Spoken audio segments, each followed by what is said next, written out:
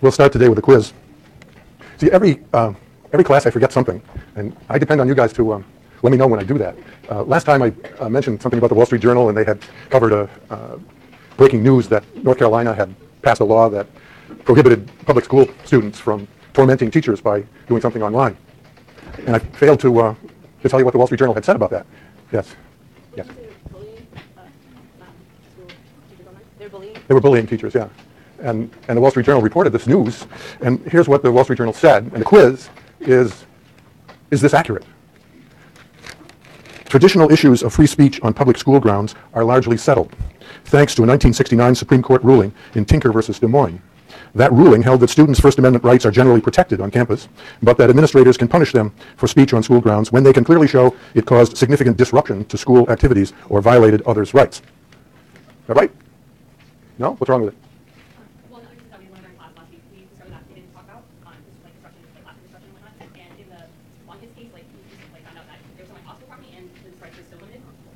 Yeah, um, I mean, Tinker hardly settled, as the Wall Street Journal says, the rights of public school students. It did say that students have First Amendment rights, which is nice, uh, and it said that school officials can limit those rights if the exercise of the rights would disrupt, would be disruptive of something in the school. But then what did they do? Then there were the intervening cases, the Fraser, the speech case, the, the political speech case, and the school newspaper case, and the Bong Hits case, none of which involved disruption. That's not the law.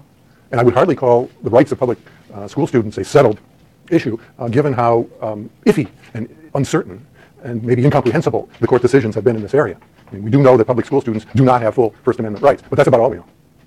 Jason? Also through, um, like what our just read about Susan May, obviously courts can diverse their decisions on on the president, presidents, right? Like they can just go back and change, change interpretation of cases that we already settled. I don't think there's anything to settle. I think they all change. And I think our last reading showed that. Yeah, well, in the public school area, the court has not overruled any of its precedents. So Tinker's still the law, but it only covers armbands, apparently. And Bong Hits is still the law, but it only covers advocacy of illegal drug use. It's so uh, useless as a matter of principle that um, the only principle we understand is that public school students don't have full First Amendment rights. Now let's look at a different kind of category of speakers uh, that may or may not have full First Amendment rights, and that's corporations. And the famous or infamous case of uh, Citizens United, which is the most important First Amendment decision of the 21st century, uh, and certainly the most controversial, and certainly the most misunderstood or mischaracterized. Uh, that's partly because the opinions in the case run to 176 pages. I have spared you that and given you a summary of Citizens United. Um, not very many people, I suppose, have plowed through and attempted to understand all 176 pages, and for that reason, a lot of people who are upset about the decision frequently mistake what it actually decided uh, and, what, and even what its consequences have been. The case decided five to four along traditional conservative liberal 5-4 line, political lines, that part of the McCain-Feingold campaign finance law was unconstitutional. That part prohibited corporations and unions from using their own funds to spending their own money to support or oppose political candidates. Um, the values, the constitutional values involved in the case are unrestricted political speech, a strong value on one side, and keeping corporate money from contaminating elections uh, on the other side. The uh, five to four decision came down on the free speech side, or the corporate side, depending on how you look at it. If all you care about in life is the First Amendment, Citizens United is a wonderful decision. But there are, after all, other values. Um, the case was decided by the Roberts Court, of course. This was 2010. So here's the way they looked, the court that decided that case. What's different now? No Kagan. Kagan was not yet on the court. Stevens was. She replaced John Paul Stevens, the second from the left. Um, Kagan actually argued Citizens United in the second argument uh, in the Supreme Court for the government. Um, the reaction to the decision was instant and vehement, um, but the liberal establishment, and I suppose I count myself among them, uh, were apoplectic. Uh, the New York Times wrote a hysterical editorial the next day. Uh, there were several instant calls for a constitutional amendment. The Berkeley City Council went to work on a resolution uh, condemning the decision. Uh, the local movie theaters condemned the decision. Impeach Impeach the Supreme Court five. It's a disgrace. Corporations aren't people. Um, people for the American Way said that the court, the majority, had staged a hostile takeover of American democracy on behalf of corporations. Uh, there was this doctored image around the internet showing the five with the robes festooned with corporate logos, uh, the captives of uh, corporate America. Uh, and the critics of the decision complained um, both about how the court reached its decision, which we'll go into in a minute, and the court's supposed reliance on two fictions. One, that money is speech, and two, that corporations are persons with free speech rights. And now, of course, um, people complain that uh, the decision unleashed super PACs to flood uh, elections with corporate money. So what I'd like to do is discuss first the case, what it was about, um, then the opinions in the case, do some analysis of it, and then consider its aftermath, what we're living with as a result of the Citizens United decision. Citizens United is a nonprofit political, conservative political um, corporation. It's a nonprofit, but it's in corporate form. Uh, and they produced a feature-length documentary attacking Hillary Clinton. They did this during the 2008 uh, primary season, presidential primary season, where uh, Senator, then Senator Clinton was running against then Senator Obama uh, for the Democratic presidential nomination, and Citizens United was opposed to Clinton, and they did this hour and a half uh, feature-length film, uh, which was basically an infomercial uh, condemning Clinton for um, her sins, according to Citizens United. And they wanted to put the um, the film on video on demand, but the provisions of the uh, campaign uh, finance law, the McCain-Feingold law, made it illegal for a corporation to spend money on um, electioneering communications within 30 days of an election, or 60 days, I think it is, of a, of a primary, whatever it was. It was a window in which corporations could not take out television ads supporting or opposing political uh, campaigns. Uh, and Citizens United sued the agency of the federal government that polices elections, the Federal Election Commission, claiming that the law didn't apply, did not apply to a feature-length film as opposed to a television spot, uh, that it didn't apply at all to video on demand as opposed to a television ad, and that it didn't apply to it as a nonprofit corporation that is funded almost completely by individuals. Um, and when it sued the FEC, uh, it stipulated, that is formally agreed in court, in the trial court, that it was not challenging the law on its face, only as it applied. If it was challenged on its face, it would be saying that law can't be applied to anybody. It's unconstitutional in all its applications. So we're not doing that. We're just challenging it as applied to us and our film. Um, and it did not, in its lawsuit against the FCC, challenge, question uh, any of the court's precedents. The court, 20 years before, in 1990, had decided a case called Austin, which involved a state law, which was very similar to the federal McCain-Feingold law, and the court had upheld it 20 years before. So then Jeffrey Toobin has a masterful discussion in his New Yorker article in the, uh, in the Reader of how the court got to the point of deciding the case. The decision in January of 2010 was um, an exercise in judicial activism. Uh, to put it mildly, uh, the court decided that the law was unconstitutional on its face in all of its applications, uh, which was relief that was not even asked for by Citizens United. The court overruled the Austin case and part of another more recent precedent uh, that had not been argued by any party. Uh, the decision in doing this violated all of the principles of judicial restraint that Chief Justice Roberts had espoused in his confirmation hearings when he was appointed to be Chief Justice. Um, that is, that decisions ought to be based on the narrowest possible grounds. Don't paint with a broad brush. Just decide what actually has to be decided. Um, that will promote unanimity in the court, where here we have a five to four split. Uh, and it also seemingly was inconsistent with um, Roberts' respect for stare decisis, the common law method principle that requires courts to follow the precedents decided before. Here they overruled at least one and a half precedents. Uh, that uh, must have I mean, Roberts must have been conscious, clearly was, uh, that what the court had done, was doing in Citizens United, was inconsistent with the principles of judicial restraint that he so fervently defended, provoking him to write a separate opinion, a concurring opinion, in Citizens United, uh, in which he said that it's more important that we get it right than that we decide something narrowly.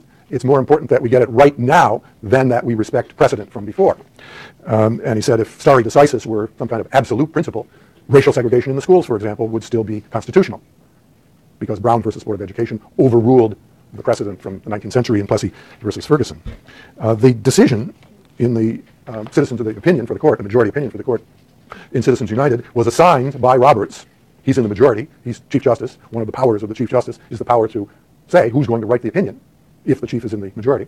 Uh, and he assigned the opinion to uh, Justice Anthony Kennedy, and the four conservatives joined in the opinion. Kennedy brushed aside these narrower grounds that could have been used to decide the case, you know, that it didn't apply to Citizens United and so on, and said that a notion of judicial responsibility required the court to condemn the law on its face uh, to avoid the chilling effect created by the law on political speech.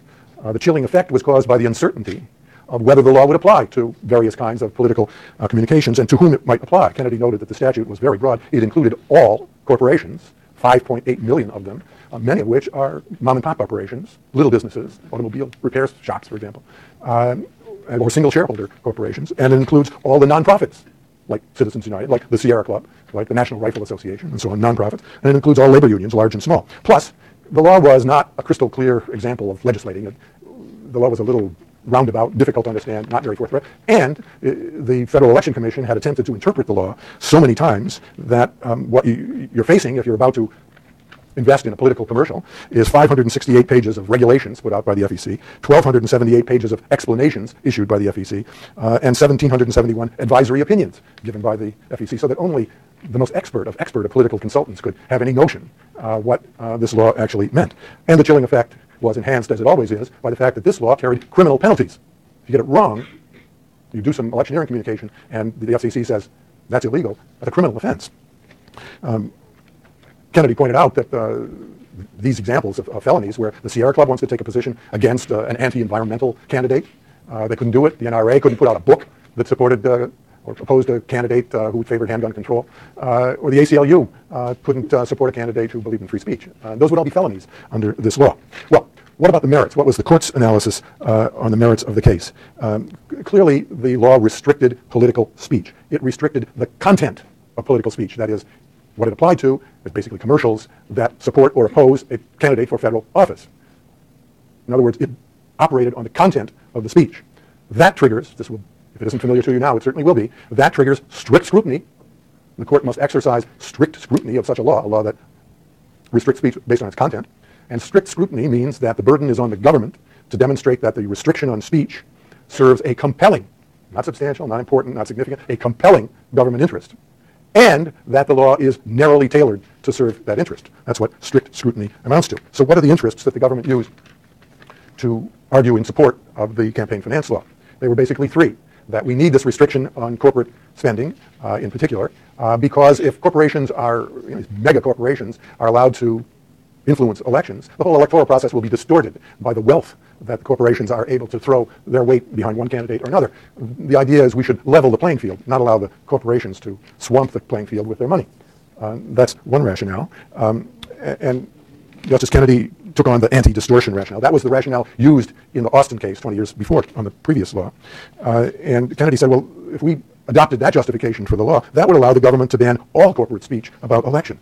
Even books the corporations might put out could be banned under that rationale. Um, and look, the law applies to nonprofits and small, even single shareholder corporations. They don't have the money to dominate elections. The law is overbroad in that respect. Um, and uh, if we adopted this inter the government's interest, anti-distortion interest, even media corporations couldn't take positions. Newspapers, television stations, uh, internet companies couldn't take positions supporting or opposing political candidates. And Justice Kennedy basically said this is not a valid government interest to level the playing field not only not compelling, it's not even a valid government interest. And then the second one, the government says, well, we need to have this restriction on um, corporate and union funding of commercials and so on in order to avoid corruption or the appearance of corruption. And the court said that's a valid government interest. You certainly don't want a situation where there is what the court calls quid pro quo corruption, a kind of a understanding, whether it's explicit or not, that a corporation will spend $5 million supporting a candidate and the candidate will, as a quid pro quo, return the favor to the corporation by supporting legislation favoring that corporation's interest.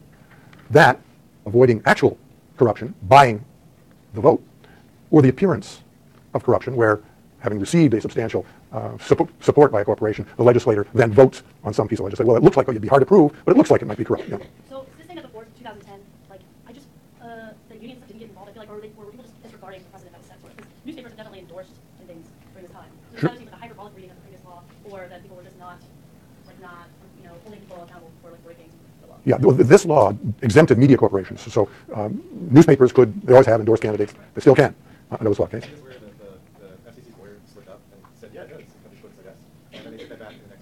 Yeah, it was FCC's lawyers. It was the Assistant Solicitor General arguing for the government in the first case who was asked, does this apply to a book? And he said, yeah, well, it doesn't necessarily have to, and, and as you read in the Toobin piece, uh, Kagan backed off that in the second argument and said, no, this law doesn't apply to books. But the cat was out of the bag already by then. Nicole? No, the amounts were not limited. It's that they couldn't do an electioneering communication, what the law called it, during a certain 30 or 60 day period before an election. They could do before that. Citizens United would have had no restriction on putting out its film, getting it on video demand, buying television time to put it on, uh, if they do it outside that window. It was a fairly narrow restriction. Then on the uh, corruption rationale, um, the court said